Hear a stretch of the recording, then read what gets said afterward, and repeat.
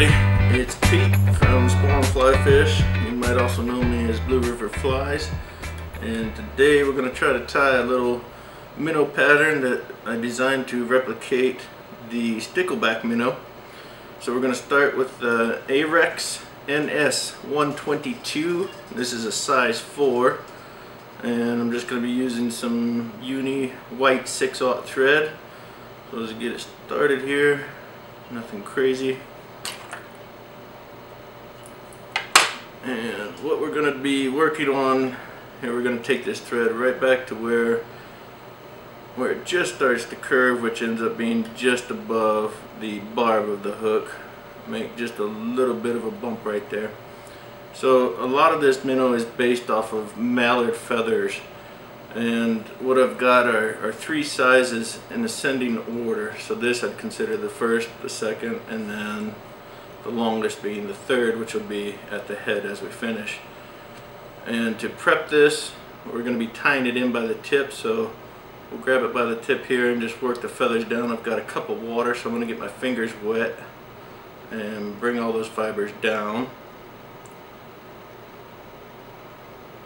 And I've got it fairly well matched up on both sides.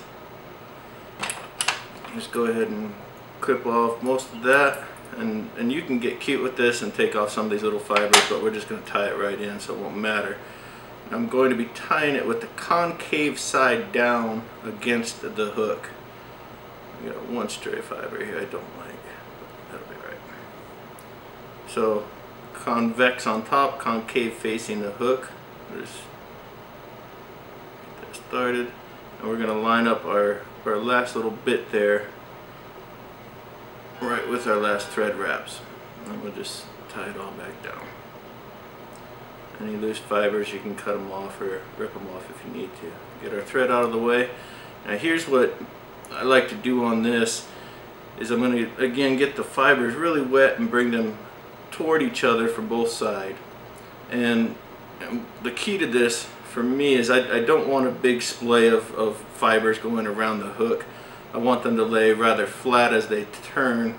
And the way I do this is I'm going to make this first wrap almost in a, away from it and back. And as I do this what will happen is it will allow me to, to put the quill flat against the hook as compared to on its side. And this will let the fibers lay down in a much flatter fashion because especially for the stickleback minnow it's not a very big profiled minnow. And, and this will help me emulate it before it even gets in the water and it's it's a good idea to keep that in mind if you're tying early season flies because a lot of the young fry are, are very slim and small so again the whole time if, if you can keep your fingers wet and keep the fibers wet this will go a lot easier and as you can see here on this wrap it's a little easier to see the quill is, is quite flat against the hook. So that's three, four wraps, maybe one more.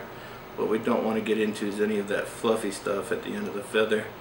Bring my thread back down and on this I'm going to bring the, the feather up and just separate right there, make a nice little V and tie off.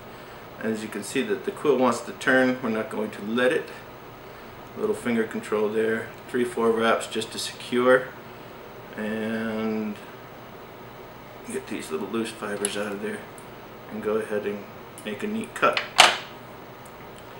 Finish off that little bit that we chopped there and we're good.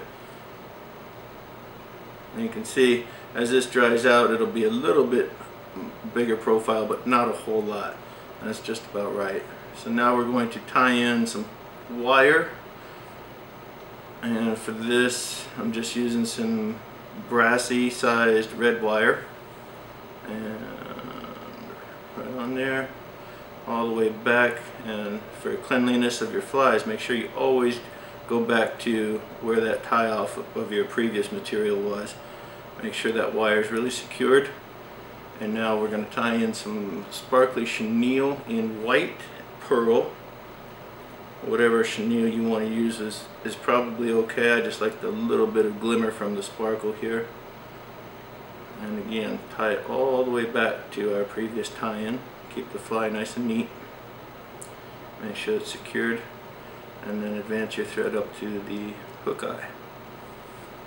Nothing, nothing crazy on this fly. So we'll just begin wrapping our chenille and touching wraps toward the front. If you lose one, just undo it, come back, make sure it's all nice and secure. So this is going to be our last wrap, so we don't want to crowd the hook eye. One, two. Tie off enough to make sure that's secured. Clean cut. Get rid of these loose fibers and just to make sure your tie down is good. Alright, so now we're going to counter wrap or go the other direction with our wire, evenly spaced, and if you just wiggle a little as you go, it'll get down between some of those fibers and secure the chenille a little bit better to the hook. So we got one more wrap here and then we'll tie off our wire. There we go. And again, probably four, three, four wraps, whatever you feel comfortable with. Now, on the wire itself, I like to cut it close, but not so close that I can't just, with my thumbnail, just push that little bit of wire back. And now as I wrap that over, there's no way that wire can come undone unless something really toothy is, is playing with it. That's pretty good. Now we're going to do a little whip finish here. and making sure each wrap goes toward the hook eye and that's what makes the strength of the whip finish. So there's one, two, three, four, and five. Make a nice clean cut and just a little bit of head cement on there.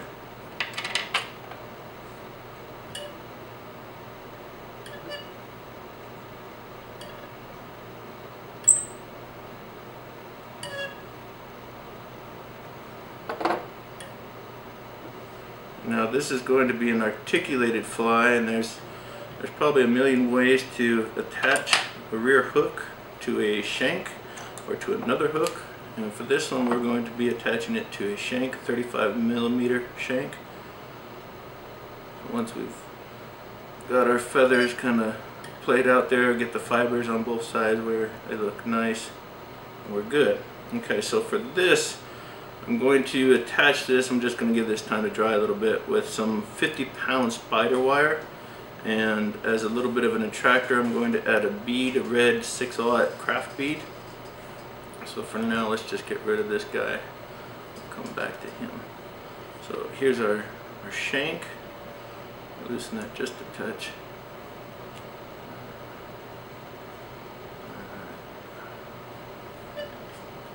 I'm not sure if you can move it you're not ready so we'll get this a little snug here there we go now let's get this this shank secured.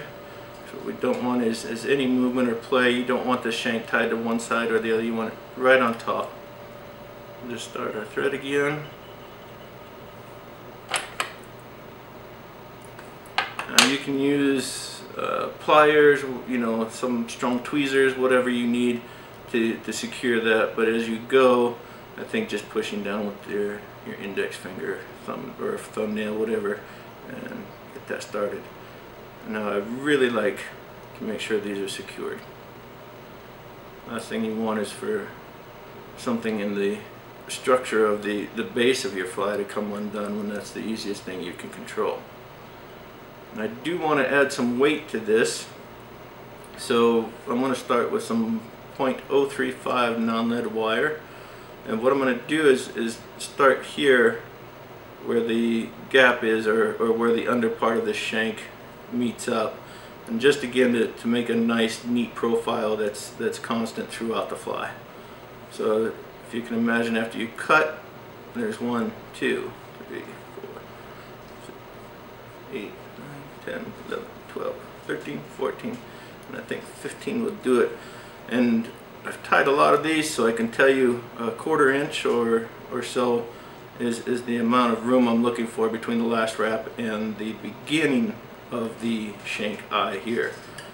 And you'll see why later as we go to apply our, our spawn head.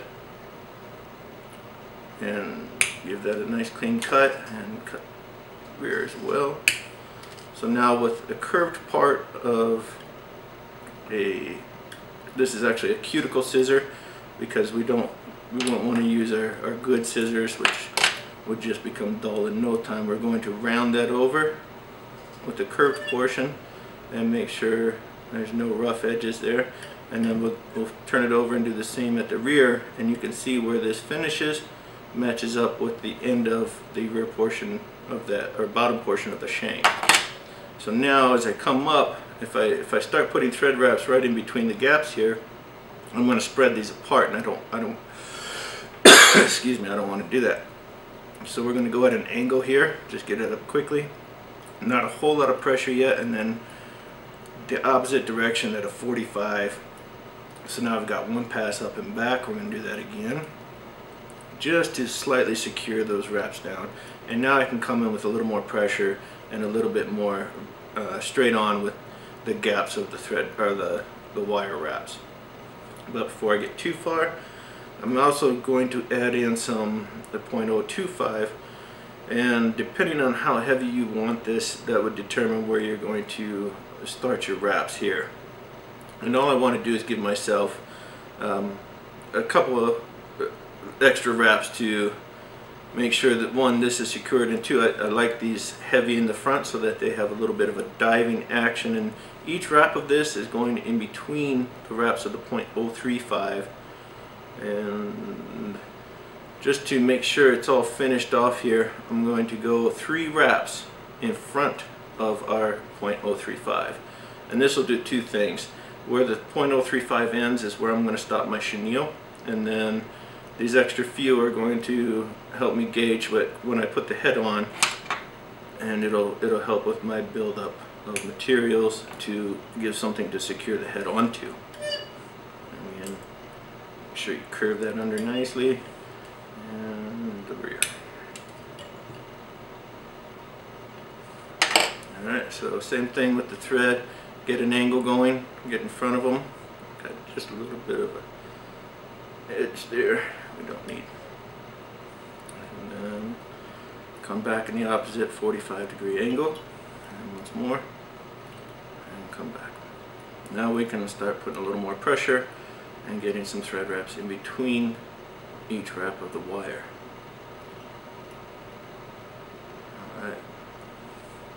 So now, just as an example, you can see the space that we need to fill here and it's not quite full but you have to imagine we're going to have chenille and another feather wrapped on here and it should snug up just fine. So now we're going to take our, our 50 pound spider wire and you could do this before the thread wraps if you want. Um, I really haven't noticed that it, it makes too much difference as far as the hook pulling out or any of that good stuff. Okay, so let's take our our tail here. And there's a, there, like I said, there's a million ways to attach this. I want to show you one of my favorite ways for for this, and it's a little different than what you're probably accustomed to. So I'm going to give myself plenty of room. I've doubled over the, the 50 pound spider wire and keeping your lines so left on the left, right on the right. I'm going to go on the center, however, on top of the shank and get a few of these wraps pulling that, that spider wire down into the gap of the non-lead wire. I'm going to turn those end pieces back over and just bring them back down. And this will ensure that no matter what, this isn't going to pull out uh, if, if a fish gets really aggressive on that hook. Rather secure it overly done versus not quite enough. Alright. So now first thing first, we're going to slip our bead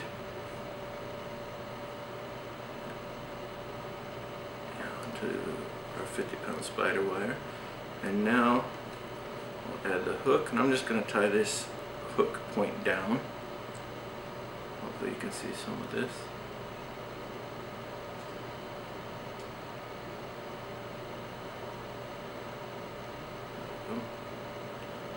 Alright, and the reason I do it this way, as you can see, now I can actually take the spider wire uh, once again through that bead and this really allows that hook to move freely in the back. And I want it to have just a little bit of room so that that bead after it's tied down still sits behind the the rear section of that shank. So right about there. And I'm going to secure it on top again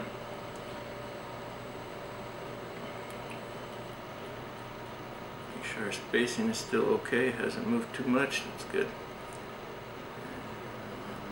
Like so.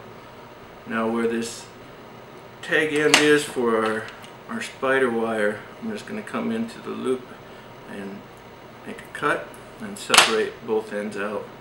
And now on the sides, I'm going to bring that back once again, doubling it over, just another way to secure and make sure you're not going to have a fish rip the hook off of your shank. To trim that just a touch on each of these ends.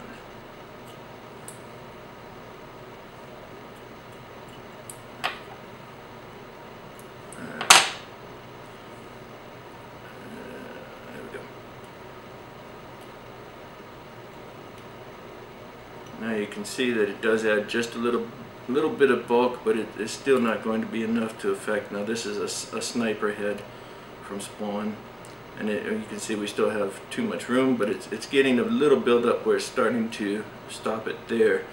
So we're going to be just about right, I think.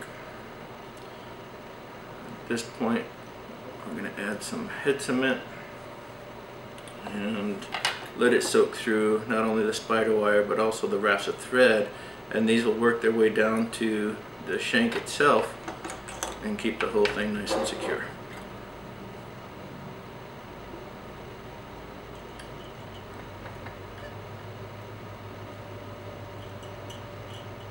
don't be shy with, with the head cement. It's you really cannot overdo it better safe than sorry.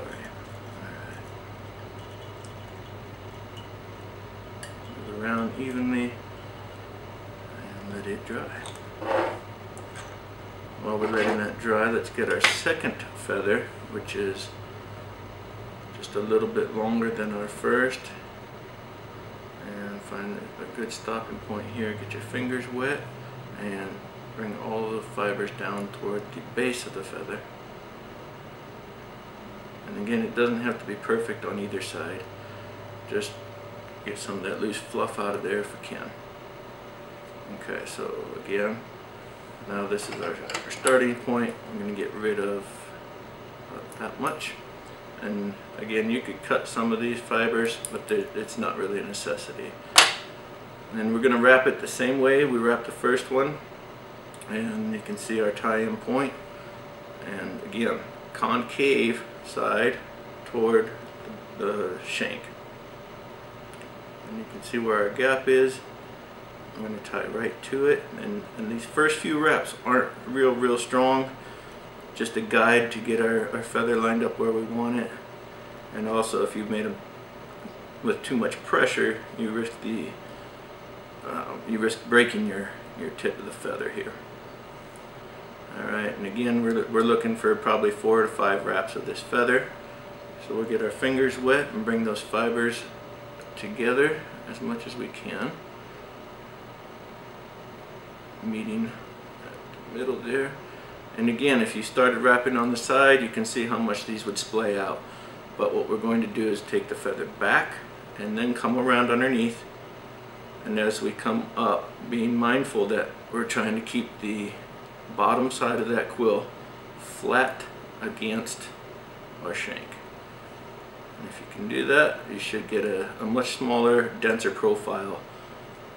Got a couple fibers trapped here.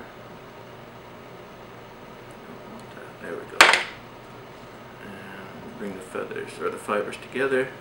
On this one you can see a little easier that the quill is, the concave side of the quill itself is, is actually making contact with the shank. we do want these fibers on this side just to keep it neat. So maybe one more wrap here and at this point when we come up we'll separate our fibers. There's not much left of this feather so it'll be fairly even. There we go. And secure. Catch that a couple times and then you're good. And I'm going to bring it right back down over the last wrap of that quill just a touch. Good cut. Any stray fibers, go ahead and just trim those out as you feel. One good thing you can do at this point too is, is go ahead and, and throw in a whip finish if you want. It's, it's really not going to make a, a lot of difference unless, unless you have issues with your, your thread control.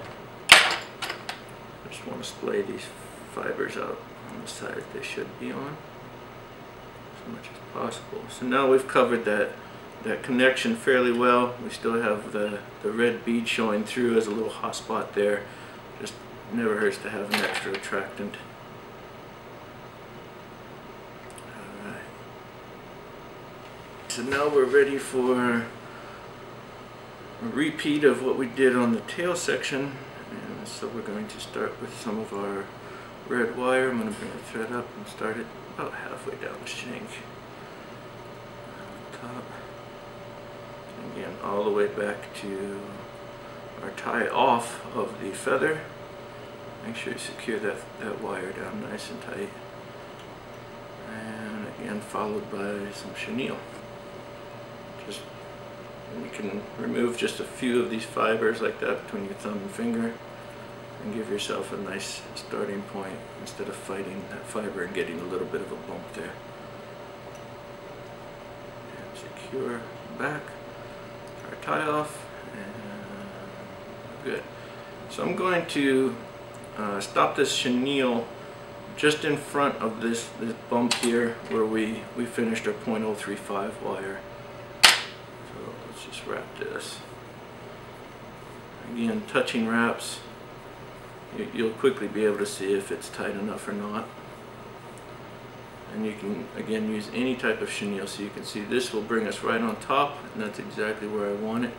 I'm going to bring my thread back to that spot and go ahead and catch the chenille.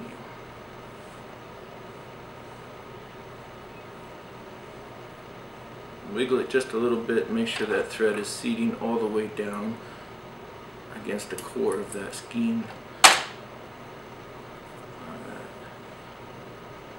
Tidy up. And now we are ready for our wire. And again, we're going to counter wrap.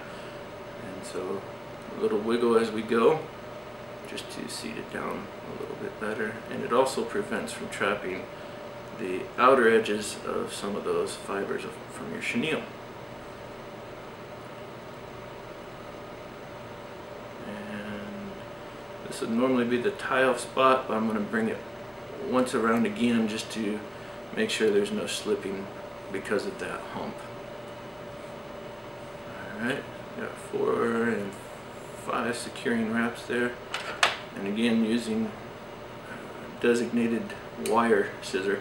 And I've got a little edge back here on the reverse side. Make sure that's crimped down. Again to prevent that wire from pulling out just a little bit more. Alright and now we are on to our last element which is the third feather and you can see this is quite a bit bigger than than the last and definitely much larger than the first.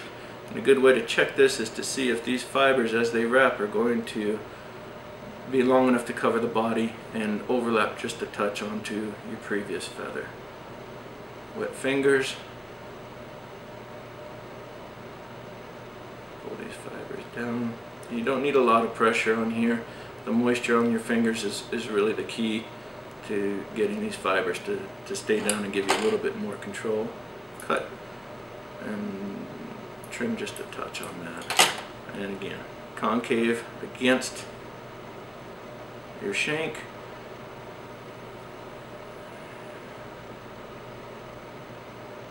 And you can see maybe where feather stops here where I've, I've trimmed it and that's going to tie in with our tie off spot. And you can see I'm going to have to cut some of these. fiber ends.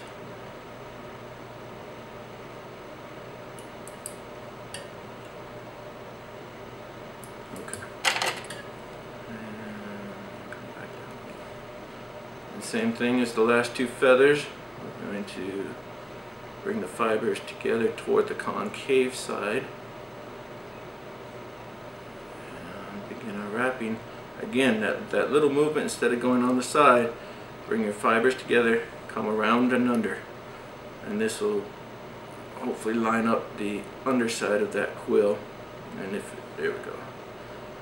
If it gives you trouble, just be patient. It's it's a little different than just, you know, the typical wrapping of a, a feather to the shank. But it does produce a neat effect of, of keeping it slim to your, your body. There we go. You're essentially trapping one side of, of the fibers, or the feather.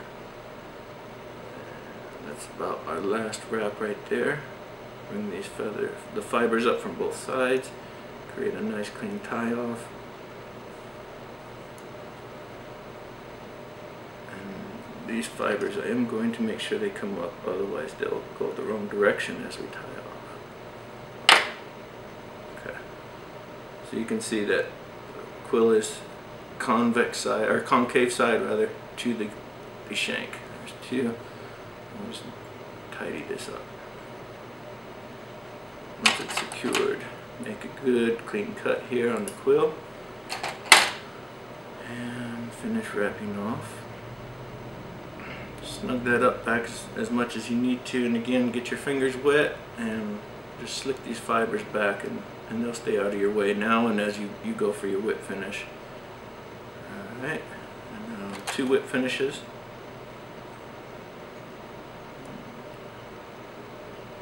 I like five or even six wraps there. Pull, pull it snug and our second wrap. And that's thread and we're ready for a little head cement to finish this off.